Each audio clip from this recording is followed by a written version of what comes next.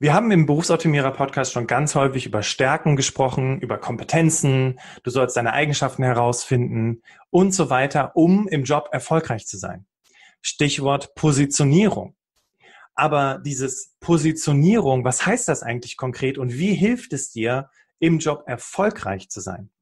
Genau darüber spreche ich heute mit der wunderbaren Expertin Asida Radamacher. Deswegen herzlich willkommen, schön, dass du dabei bist. Vielen Dank und hallo. Herzlich willkommen zum Berufsoptimierer Podcast. Der Podcast zu allen Themen rund um Bewerbung und Karriere. Jeden Mittwoch um 6 hörst du die neuesten Insights, die dir dabei helfen, beruflich das nächste Level zu erreichen. Mein Name ist Bastian Hughes. Ich bin Business- und Karrierecoach und ich unterstütze Menschen dabei, ihr berufliches und persönliches Potenzial zu entfalten, sodass sie mit dem erfolgreich sind, was ihnen am meisten Spaß macht. Ich freue mich, dass du heute dabei bist und ich freue mich auf eine spannende Podcast-Folge.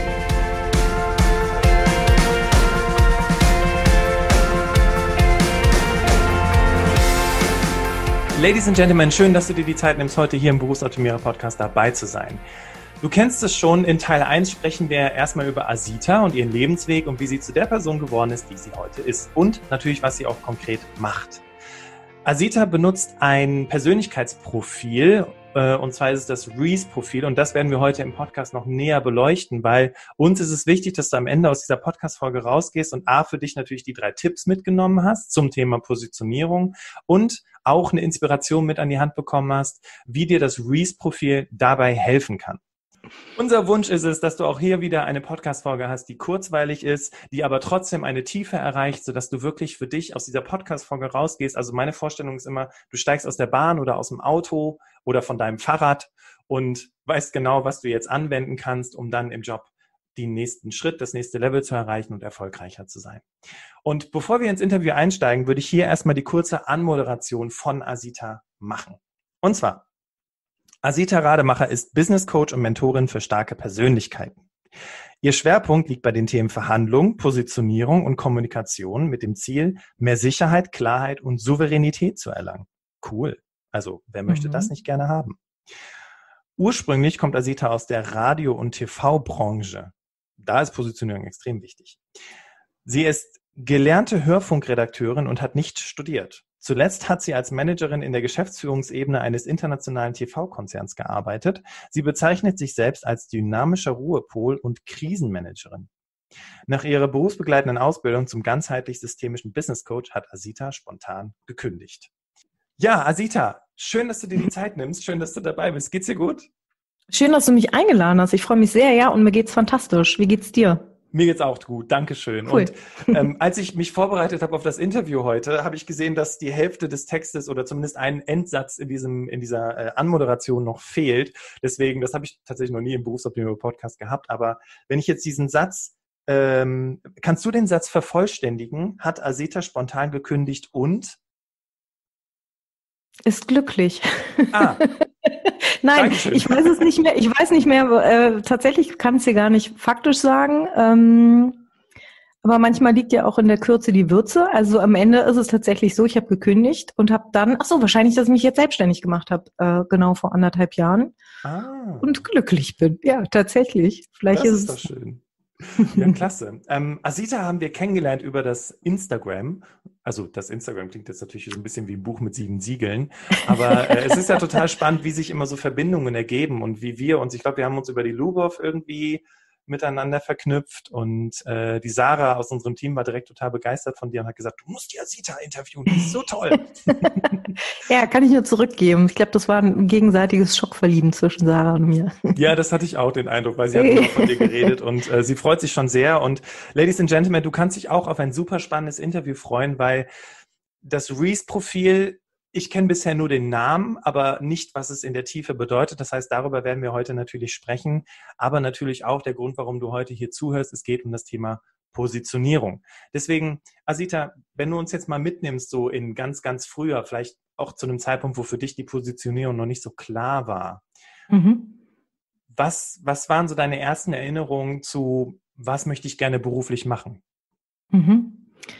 Ähm, das ist eine gute Frage, denn Positionierung war für mich runtergebrochen nie ein Thema. Das hat mich sogar immer eher gestresst. Also ich wusste, theoretisch kann man sagen, ich wusste nie, was ich wirklich werden will. Also nach der Schule zum Beispiel war mein großer Traum, Schauspielerin zu werden. Und ich habe mich dann äh, zwei Jahre lang wie wild an Schauspielschulen auch beworben, elfmal insgesamt, bin aber nirgendwo angenommen worden und habe dann halt gejobbt wie eine Verrückte. Also ich habe immer schon früh mein eigenes Geld verdient ähm, und habe immer so das Gefühl gehabt, jeder um mich herum weiß genau, wo er hin will und was sie alle alles machen wollen und was sie studieren wollen und die eine wollen, die einen wollen Ärzte und Anwälte werden und die anderen, keine Ahnung, wie ist denn das? Und ich dachte immer nur so, boah, ich habe keine Ahnung von nichts ich bin klein und dumm, so ungefähr. Ui, das sind aber harte Worte. ja, tatsächlich. Die habe ich mir aber ganz, ganz gut erzählt. Und ich habe letztendlich bis zu meinem 23. Lebensjahr wirklich ähm, gejobbt, ganz viel. Und äh, rückblickend aber auch erfolgreiche Sachen gemacht. Und ich bin dann beim Radio gelandet und habe da ein Praktikum gemacht und auch das rückblickend irgendwie logisch, weil ich immer ein riesen Radiofan war und vor allen Dingen von dem Radiosender, bei dem ich dann letztendlich auch war und ähm, das immer, den immer schon gehört habe und wirklich so dieses typische Zuhause mit, mit Mikrofon und Kassettentape, Musik aufnehmen, Moderation irgendwie sprechen und so und dann war das so, wow, jetzt darf ich hier sein. Und genauso ging irgendwie mein Weg weiter. Ich hatte zum Beispiel eine Lieblingsfernsehsendung. Ich weiß nicht, ob du noch nur die Liebe zählt zum Beispiel kennst, von Kai Flauben, mit Kai Flauben. Ja, Klar. ich war, war glaube ich, der größte Fan, den es gibt auf Erden. Und dann, ja, so damals habe ich gedacht, Zufall, jetzt habe ich hier jemanden kennengelernt, da jemanden kennengelernt und am Ende habe ich da gearbeitet. Wow. So, und das, okay. das hat sich, genau, das hat sich so weiter ergeben. Und ich weiß, in, dem, in, dem, in der nächsten Firma, wo ich war, hat mich mein Chef immer gefragt, wo willst du denn hin, was ist dein Ziel? So, was willst du noch erreichen? Und ich war immer nur so, ich weiß es nicht, keine Ahnung, ich habe keine Ahnung. Und für mich war dieses Thema, mich zu positionieren, also ich muss es vielleicht mal so ein bisschen splitten. Ich habe irgendwann vor drei Jahren ein Buch gefunden, das habe ich, glaube ich, mit 20 oder so ausgefüllt. Da ging es darum, was für einen Job will ich später machen. Und da hatte ich tatsächlich drinstehen, Moderation, Schauspielerin, Castingdirektorin und noch irgendwas. Und ich habe die drei Sachen alle gemacht ich habe mich nie bewusst dafür entschieden, aber anscheinend hatte ich unbewusst schon eine Positionierung in mir drin. Und in dem Moment, wo es aber immer hieß, bewusst, aktiv, wie willst du dich positionieren, war ich überfordert.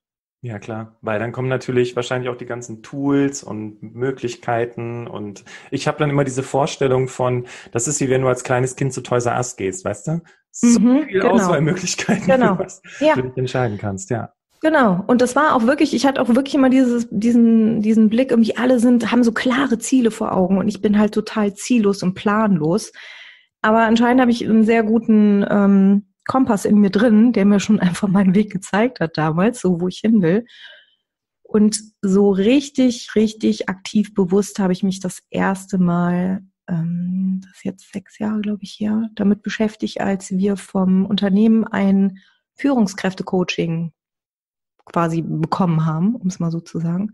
Und ich überhaupt mit dem Tool Coaching in Berührung gekommen bin und auch mit diesem Thema, ja, mich mit mir selbst auseinanderzusetzen, meine Stärken kennenzulernen und mal auf eine andere Art und Weise an das Thema Ziele, Positionierung, ähm, Kommunikation, all das ranzugehen. Und da wurde, da hat das das erste Mal für mich wirklich so ein Bild bekommen. War jetzt eine etwas lange Ausführung, aber ich hoffe. Total okay. total folgen. Okay. Also vor allem, ich glaube, wenn du hier sprichst, viele Menschen, die uns zuhören, die denken, ich glaube, die spricht von mir. Weil mhm. ich habe auch nicht so richtig einen Plan gehabt, wo ich hin wollte. So war es bei mir persönlich auch. Mhm. Was dann in, in, der, in der Ausbildung im elterlichen Betrieb re resultierte, ne? weil es dann hieß, komm, hier, ich nehme dich unter meinen Flügel und du mhm. kannst dann bei mir ja. die Ausbildung machen. Aber ich habe auch festgestellt, dass viele Menschen eigentlich gar keinen Plan haben, wo sie hinwollen. Und das Interessante ist, du hattest eben von den Juristen, Ärzten und so weiter gesprochen. Mhm, mhm. Sind die das denn auch wirklich geworden, alle, mhm. die du so kanntest? Ähm, ja, eine gute Mischung. Die meisten tatsächlich ja. Okay. Und auch relativ viele zwischen zufrieden bis unzufrieden. Ja, okay. Eine große Bandbreite sozusagen. Ne? Ähm, genau. Ich hatte, ich hatte noch nie in der Anmoderation, dass ich gesagt habe, und diese Person hat nicht studiert. Du hattest das ja damals selber reingeschrieben, mhm. als du das ausgefüllt mhm. hast. Was, was möchtest du damit gerne sagen? Möchtest du damit sagen, dass du Karriere gemacht hast ohne Studium oder wie, was ist das, äh, was war deine Aussage dahinter? Mhm.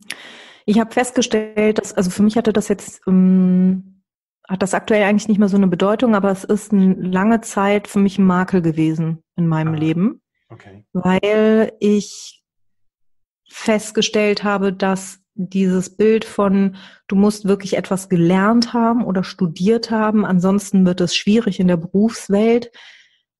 Ähm, das wird von unserer Gesellschaft relativ intensiv geprägt. Und das andere, was ich festgestellt habe in den letzten Monaten, wenn ich erzählt habe, was ich gemacht habe beruflich oder wo ich auch gearbeitet habe, und dann äh, die Leute mich gefragt haben, was hast du studiert? Und ich habe gesagt, nichts. Dann haben mich immer riesengroße Augen angeschaut. Also es war wirklich so dieses Gefühl von, hä, das geht, hä, das kann doch gar nicht sein. Wie hast du denn bei, bei Warner Brothers Management arbeiten können, ja, wenn du kein Studium hattest? Und das ist so, deswegen wollte ich es einfach nochmal so mitgeben, es gibt nicht immer diesen einen klassischen Weg. Und das ist, glaube ich, auch bei der Positionierung ganz wichtig. Natürlich kann man sagen, wie positioniere ich mich in meinem Leben, was habe ich für Ziele, aber auch zum Beispiel, wie positioniere ich mich bei der Arbeit. Also ich erinnere mich auch an viele Gespräche, wo es immer hieß, du musst mehr rausgehen, du musst, du musst äh, präsenter sein, du musst sichtbarer sein, du musst mehr, dich mehr trauen, sei lauter. Und da ist an ganz vielen Stellen sicherlich einiges dran. Aber ich glaube, das Aller, Allerwichtigste ist wirklich, dass wir lernen, dass wir unseren eigenen Weg gehen.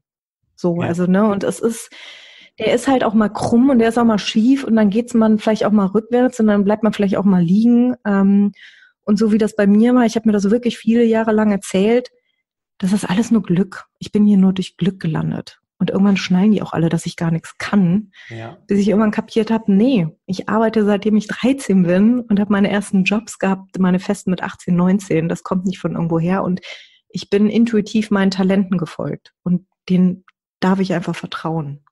Und das ist nochmal ganz wichtig, dass du das nochmal hervorhebst, weil es gibt ja so eine ganz interessante Aussage. Je erfolgreicher du wirst, desto mehr kommst du dir vor wie, wie ein Schauspieler, wie ein Schaumschläger, ja, jemand, der Hochstapler. Ähm, ja, Hochstapler, danach habe ich gerade mhm. gesucht, genau. Mhm. Ein Imposter, genau, ist die englische. Genau. Richtig. Und das ist auch, glaube ich, ganz normal, weil du, du merkst halt irgendwie, hä, wie, ne, von ich habe keine Ahnung, was ich will, zu ich arbeite jetzt bei Warner Brothers, wie, wie du das so schön mhm. gesagt hast, zu merken, ja, aber trotzdem bist du ja irgendwie dahin gekommen, ne? Und trotzdem bist ja. du ja auch irgendwie befördert worden, gefördert worden, hast immer Menschen gehabt, die dich auch unterstützt haben. Und jetzt hast du eben noch was Spannendes gesagt, das mit dem, mit dem Makel, ne, das nicht studiert zu haben, ein Makel ist. Und das ist dann so schön, wenn, wenn du jetzt zum Beispiel hier als erfahrene Persönlichkeit im Podcast bist und eben sagen kannst, naja, ich habe auch meinen Weg gemacht, ne? auch ohne mhm. Studium. Mhm. Und was gab es für dich so einen Moment, wo du, weil du hast gerade gesagt, nee, ich, ich weiß, was meine Stärken sind und so weiter und Menschen haben gesagt, ich soll lauter, stärker sein. Das hört man sich dann immer alles an, ne? Oder mhm. vielleicht kennst du das auch, ach, Asita, du bist viel zu nett. Ne? Das mhm. ist auch so was, womit du nicht wirklich was anfangen kannst, aber das sagen die Leute halt. Mhm. Gab es für dich so einen Moment im Leben, wo du dann auch gesagt hast, jetzt reicht's? Mhm. Bei mir ist es immer, ich bin zu laut, ehrlicherweise. Also bei mir war es immer eher so leiser sein. Okay. und nicht so, nicht so forsch und auch nicht so emotional. Und ich bin, also ich hatte immer das Gefühl, ich bin zu viel, ehrlicherweise, im Job. Okay. Und ähm, das hat mich, äh, das hat mich zu einer gewissen Zeit irgendwann wirklich sehr gefrustet. Ja, also da hatte ich wirklich das Gefühl, ähm, ihr könnt mich jetzt alle mal. Also, und ich habe, also es gab für mich dann nochmal so einen Game Changer und der fing an, als ich meine Ausbildung gemacht habe zum ganzheitlich systemischen Business Coach. Also das war damals selber das Coaching erhalten, das war schon sehr erweckend, weil, und das finde ich auch so, so wichtig, du aus deinem eigenen System heraus, ja, also sowohl Familie als auch Freunde. Und ich muss sagen, ich habe nur Menschen in meinem Leben, die mir sehr wohlgesonnen sind, ja, also die auch wirklich alle sagen, du bist super, so wie du bist. Aber sei mal ein bisschen leiser, zum Beispiel. ähm, wo, ist der, wo, ist der, wo ist der Volume-Knopf, wo ich drehen kann? ja, so ein bisschen oder red mal weniger oder so. Mhm. Aber ähm, auch bei der Arbeit, da mal aus diesem System raus und mal wirklich von einer ich nenne es jetzt mal neutralen Person wirklich gute Fragen gestellt zu bekommen, ja, und auch nochmal den Blick auf gewisse Dinge, wo ich so dachte, das ist Gesetz. So habe ich das gelernt. Also bei der Arbeit habe ich gelernt, ich muss da so und so mit denen umgehen.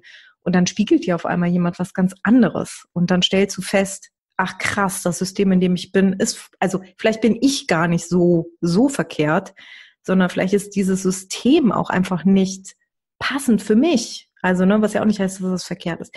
Ja, und da war für mich sehr schnell klar, das ist, boah, das ist genau mein Bereich, das ist meine Stärke, ich liebe das und ich mache eine Ausbildung und das war mein Game Changer, weil ich mich da so gut kennengelernt habe und verstanden habe, was ich ticke und äh, wie ich ticke und das hat mir eine Ruhe gebracht, dass ich automatisch, also ich bin nicht unbedingt leiser geworden, ich rede vielleicht auch nicht wenig, aber vielleicht qualitativer und ich kämpfe weniger, um es mal so zu sagen. Also es war echt, ja.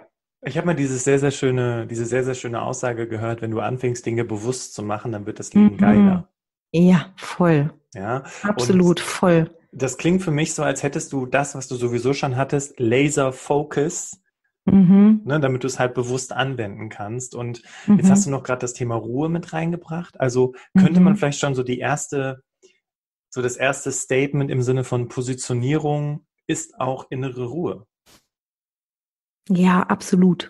Also das ist, ich glaube, dieser, ähm, ich glaube wirklich dieser innere Kampf, den ich, und ich glaube, dass den jeder hat, dass den auch jeder führt und manche vielleicht stärker und, und, und andere schwächer, aber auch das ist ja bei vielen Menschen, wenn die ja sag ich mal, ihre Wut oder ihren Frust oder Aggression an anderen auslassen, die haben ja, also haben ja im Prinzip ein Problem mit sich selber. Und das heißt, in dem Moment, wo ich mit mir selber kämpfe, kann ich, was du eben sagtest, mir nicht bewusst werden darüber, was gerade eigentlich passiert, was ich will, was ich nicht will und das einfach anzuerkennen, das Gute wie auch das Schlechte. Ja, also ich zum Beispiel, ich finde auch immer dieses, ich sage auch immer, vertrau dir und ich finde es auch ganz wichtig, aber das klingt oft so totalitär, als dürften wir nicht mehr zweifeln. Das ist ja totaler Schwachsinn, als ob wir nur noch aus Vertrauen bestehen würden. Das eine kann ja ohne das andere nicht sein. Und ich, mir geht's bombastisch seit Jahren, aber ich würde lügen, wenn ich nicht sage, dass ich auch Phasen habe, wo ich das Gefühl habe, ich äh, gehe kaputt oder ich, ich, ich weiß nicht weiter oder ich kann nicht mehr. Also jeder, der sagt, nö, habe ich nicht, den glaube ich nicht. Und es so, ist ja auch so, mit, mit den Zielen, ich stelle mir halt Folgendes vor, guck mal, du hast, und das wird da, wenn wir nachher noch drüber sprechen, vor im Durchschnitt 10.000 Menschen gesprochen. Also wie mhm. viele Menschen in ihrem Leben, die das gerne hätten, erleben das, ja, die Chance vor 10.000 Menschen zu sprechen. Mhm. Und ich finde einfach so den, in dem Zusammenhang einfach diesen Ansatz ganz spannend, klar Ziele zu haben, aber auch so Vorstellungen zu haben, die dir auch ein kleines bisschen Angst machen, wo du so denkst, so, holla die Waldfee, ja. Mhm. Aber also quasi eine Art Mission Impossible zu haben, ne? Aber dann auch irgendwie mhm. zu merken, boah, krass, es ist jetzt, Tobias Beck hat das mal so schön gesagt, Teil meiner Komfortzone, weil ich das jetzt schon gemacht habe. Und das ja. hat dich dann wahrscheinlich auch nochmal extrem wachsen lassen, als du diese Erfahrung gemacht hast. Ja, total. Also das ist, das ist ein ganz gutes Beispiel und das ist, glaube ich, mit, also ich bin da auch jemand, ich bin da sehr extrem. Ich, ähm, ich kämpfe zum Beispiel sehr viel mit mir. Also ich habe das auch noch nie in meinem Leben gehabt, dass ich für irgendetwas jemand anderen die Verantwortung gebe. Ja, also wenn irgendwas schief läuft in meinem Leben, dann suche ich da immer die Verantwortung bei mir und überlege, was kann ich ändern. Ja, aber viel einfacher, oder? wenn du anderen die Schuld gibst. Ja, Ist einfacher, meinst du, wenn ich anderen die Schuld gebe? Mhm. ja, total. Ja, ja, total, total. Und das ist, ähm, und genau, und deswegen ist es auch auf der, ich habe halt auch einen super hohen Anspruch an mich. Und es ist zum Beispiel dann festzustellen, wie dieser Auftritt jetzt vor 10.000, oder ich weiß gar nicht, ob hier, aber ja, so im Schnitt 10.000 Menschen und das erste Mal die eigene Keynote und ähm, ich bin schon, ich fühle mich schon nicht unwohl, irgendwie so vor Leuten zu sprechen, aber das war also wenn ich dir jetzt genau erzählen würde, wie die Vorbereitungen laufen sind, dann würdest du vom Höckerchen fallen. Wirklich, äh, das, das hat mich selber sehr, sehr erstaunt und ich dachte auch, mich hat das genervt, dass ich da wirklich so hart kämpfe und so struggle und so unsicher an vielen Stellen bin, weil ich ein anderes, also da dann dachte ich bin cooler. Ich kann, ich kann da mittlerweile mit besser umgehen. So, es hat mir nicht, gar nicht geschmeckt, gar nicht geschmeckt. Okay. Und das ist, glaube ich, so eine Erfahrung, die viele Menschen machen. Und das ist, sei es im Job zum Beispiel, ja, sei es in, in Verhandlungen, sei es irgendwie die, die eigene Meinung zu vertreten oder so. Es wird dann irgendwann richtig ungemütlich. und auch blöd vielleicht und unangenehm. Und dann kneifen wir. Ne? Ja. Also dann ist dann halt auch der, der Quatscher dann im Kopf, der sagt, ah, komm, ja, komm, nimm doch das, was du jetzt hast und das ist viel, viel zu anstrengend. Und ich glaube, es lohnt sich da durchzugehen. Dieser, was du sagst, dieser Wachstum, das ist nicht zu unterschätzen. Also das ist wirklich, ähm, oh, sich die Erfahrung zu nehmen, ist, ist, das ist echt ein Verlust. Also ich kann das jedem nur empfehlen, wenn man das Gefühl hat, ich sterbe gerade, da durchzugehen, weil wir werden nicht sterben. Wird nicht passieren. Nee, und das erinnert mich gerade, das ist total witzig, dass mir das gerade kommt. Ich hatte damals, als ich im Recruitment gearbeitet habe, mit Stepstone viel gesprochen und wir haben viel daran gearbeitet, wie wir unsere Stellenausschreibungen optimieren können. Ne? Und mhm. Stepstone hat gesagt, wir haben festgestellt, dass die Menschen immer nach dem suchen, was sie gerade sind. Mhm. Und mhm. jetzt so mit dem, was du gerade sagtest, dachte ich so, nein, du suchst doch nicht nach dem, was du gerade bist, sondern du suchst nach Next Level. Ja, trau dich, dich auf dieses Job, mhm. auf diese Firma zu bewerben. So, das war jetzt gerade ein Appell, sorry, den musste ich gerade noch loswerden. Ja, voll. ähm, voll. Ähm, jetzt sprechen wir heute über zwei Themen. Wir sprechen zum einen über das Thema Positionierung und wir sprechen über das Reese-Profil. Und ja. ich bin sicher, viele Menschen, die uns zuhören, vielleicht schon mal irgendwie ansatzweise mal irgendwie mitbekommen, aber dann gibt es auch viele, die das noch nie gehört haben. Ja, was, was ist das Reese-Profil und ich meine, wir sprechen im zweiten Teil darüber, wie man, wie das mit der Positionierung dann aussehen kann, aber vielleicht jetzt noch im ersten Teil, wie bist du zu dem Reese-Profil gekommen und warum ist es für dich das Tool für Positionierung? Hm. Also das ist auch im Rahmen der, der Ausbildung haben wir natürlich ganz viele Persönlichkeitstests auch gemacht. Also wir haben uns unsere Signaturstärken angeguckt, uns mit dem MBTI auseinandergesetzt und ein und, und unsere Werte und ein äh, Test ist halt das von Stephen Rees. Das ist ein Wissenschaftler aus den USA, der jetzt auch leider vor ein paar Jahren irgendwie äh, verstorben ist. Der ist in den, ich glaube, Anfang 90ern krank geworden und hat sich irgendwann mit dem Thema beschäftigt, wieso sind Menschen, die zum Beispiel eine Krankheit haben oder, weiß ich nicht, schlimme Dinge erlebt haben oder so, wieso können die einen so damit umgehen und die anderen so damit umgehen? Ne? Also wie, wie kommt es, dass Menschen da zufrieden oder glücklicher sind und, und in anderen Bereichen vielleicht nicht? Und haben das, also ich, ich breche es jetzt sehr äh, rudimentär runter, ja. Okay. Und die haben äh, genau diverse Forschung gemacht und dann festgestellt, dass wir alle, also dass wir Menschen alle, kulturübergreifend, bildungsübergreifend, äh, länderübergreifend, also dass wir alle 16 Lebensmotive in uns drin haben, die uns von innen heraus motivieren, also unsere intrinsischen Motive, so. Und auch Bedürfnisse, so kann man sagen. Und diese 16, die wir in uns haben, sind alle, also die sind, das ist fest, dass wir die haben. Der Unterschied ist, wie stark oder gering sie ausgeprägt sind. Und es gibt so einen Wert, zum Beispiel so einen Messwert, sage ich jetzt mal, so ist ein Durchschnittswert, ähm, wo man so beide Seiten kennt, eine starke Ausprägung wie auch eine geringe. Dann gibt es den Wert, dass 20 Prozent, also je, je weiter man das ausgeprägt hat, zum Beispiel stärker, dass es nur noch 20 Prozent zum Beispiel der Menschen so stark auch haben, wie wenn du das jetzt stark ausgeprägt hättest. Und ganz am Ende zwei Prozent. Also so, das ist so ein bisschen die, ähm, die äh, Auswertung. Also, Genau. Okay, also so ein bisschen die, die Uniqueness, die dann am Ende dabei kommt, ne? Weil wenn es nur 2% genau. der Leute haben. Okay. Genau. Und man sagt auch bei dem Reese, also zum Beispiel beim Signaturstärkentest sagt man, das ist so halt wie deine Unterschrift. Ne? Das sind so Sachen, die dir leicht fallen.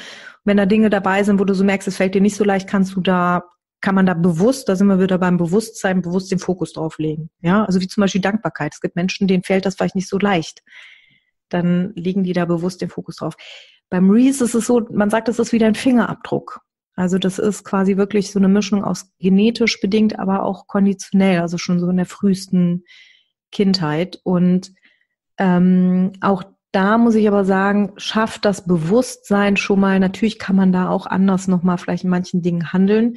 Es geht da wirklich um diesen ersten Impuls, den wir innehaben. So, und der ist quasi wieder Fingerabdruck ich kann dir jetzt, also ich weiß nicht, ob du da später nochmal drauf eingehen willst, sonst könnte ich dir jetzt auch nochmal die 16 Lebensmotive sagen, anhand eines Beispiels, dass es mal ein bisschen griffiger wird. Ja, unbedingt. Wir haben ja auch, ähm, also ich glaube, das interessiert die Damen und Herren, die hier zuhören, brennend, weil, ja. wenn du jetzt überlegst, es gibt 16 verschiedene Lebensmotive, es ist die Intrin es ist der intrinsische Motor. Und jetzt stell dir vor, du mhm. stehst mhm. vor einer schwierigen Aufgabe, du hast keine Lust drauf und du findest jetzt aber heraus, was dein dein Motor ist, dein, welch, mhm. welche Art von intrinsischer Motivation du brauchst, um diese Aufgabe zu bewerkstelligen. Ich glaube, einige, mhm. die sitzen jetzt gerade da und denken, also wenn ich den mal kennen würde, dann wäre das Leben wesentlich einfacher. Also gerne, ja. bitteschön. Ja, es kann gut sein.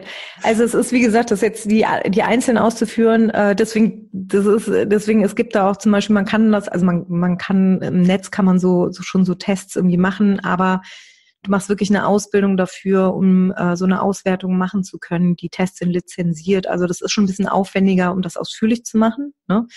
Aber jetzt so mal grob äh, ähm, angerissen. Also die 16 Lebensmotive heißen Macht, Unabhängigkeit, Neugier, Anerkennung, Ordnung, Sparen, Ehre, Idealismus, Beziehungen, Familie, Status, Rachekampf, Eros, Essen, körperliche Aktivität und Ruhe. Mhm. Und um eins rauszupicken, was zum Beispiel auch gerade sowohl bei einer Positionierung oder auch im Business-Kontext nicht unspannend ist, ist Anerkennung.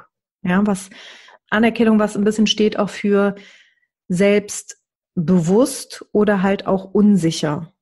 So. Und bei Menschen, die zum Beispiel Anerkennung stark ausgeprägt haben und ähm, da habe ich spannenderweise echt äh, einige meiner Klienten, die haben das. Sie haben Anerkennung stark ausgeprägt, das heißt, sie sind eher unsicher. Also ihr erster Impuls ist, sie sollen was tun oder machen oder keine Ahnung, stehen vor irgendeiner Entscheidung und sie werden dann unsicher und haben das Bedürfnis, mit jemandem zu sprechen und sich Feedback zu holen oder, oder, oder quasi ähm, Sicherheit zu holen. Ja, also das heißt, ihr Impuls, ihr Bedürfnis ist, die Sicherheit von außen zu holen.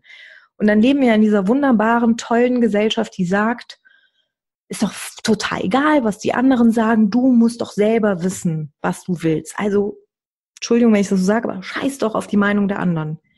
Das ist für diese Menschen aber ein Stress.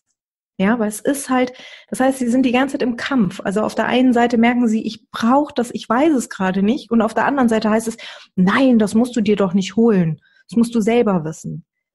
Und dieses Verständnis zu haben und dann einfach auch zu sagen, yo, das, das bin ich halt und das ist in Ordnung. Weil die meisten finden das doof. Die sehen das und denken, nee, will ich nicht.